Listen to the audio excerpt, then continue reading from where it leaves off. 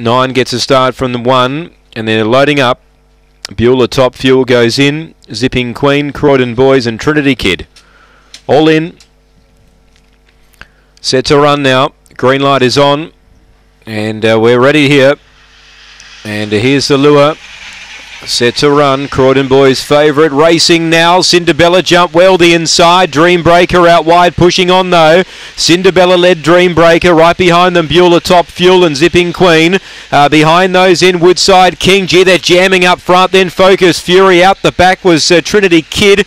Back there with Croydon Boys. What's happening up front? They're jamming everywhere, hitting the lead. Woodside King and raced away now from in second Beulah Top Fuel. The roughie Woodside King defeats Beulah Top Fuel. Uh, third goes to Zipping Queen. Now fourth is either Focus Fury or Croydon Boys with Dream Breaker. They were lined up there. And Cinderbella copped a check and was spat out the back towards the rear. Rough race again.